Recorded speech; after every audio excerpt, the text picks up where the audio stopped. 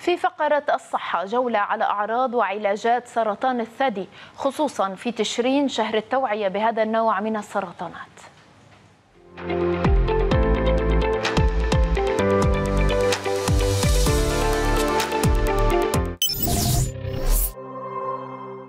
يعد سرطان الثدي أكثر أنواع السرطانات شيوعا بين النساء في مختلف أنحاء العالم ويسجل سنويا حوالي 1.38 مليون حالة جديدة و458 ألف حالة وفاة. تصوير الثدي بالأشعة السينية هي الطريقة الأفضل للكشف عن سرطان الثدي في مراحله المبكرة بحيث يكون من الأسهل معالجته قبل أن يتطور ويصبح ظاهرا. توجد أعراض مختلفة لسرطان الثدي وقد لا تظهر لدى بعض الأشخاص أي أعراض على الإطلاق. يمكن أن تشمل الأعراض تغيرا في حجم الثدي أو شكله ألما في أي منطقة من الثدي إفرازات من الحلمة غير لبن الأم بما في ذلك الدم كتلة جديدة في الثدي أو الإبط. لذلك إذا كان لديك أي من تلك العلامات فاستشيري طبيبك فورا. عوامل الخطر تشمل التقدم في السن.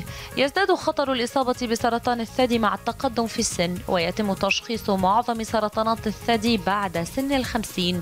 الطفرات الجينية تغيرات موروثة في جينات معينة. النساء اللواتي ورثن هذه التغيرات الجينية هن أكثر عرضة للإصابة بسرطان الثدي. تاريخ عائلي للإصابة بسرطان الثدي أو المبيض. يكون خطر إصابة المرأة بسرطان الثدي أعلى إذا كان لديها والدة أو أخت أو ابنة أو العديد من أفراد العائلة من جانب والدتها أو والدها من العائلة لديهم سرطان الثدي أو المبيض. كما أن وجود قريب ذكر من الدرجة الأولى مصاب بسرطان الثدي يزيد أيضا من مخاطر إصابة المرأة. كيف يمكنك التقليل من المخاطر هذه؟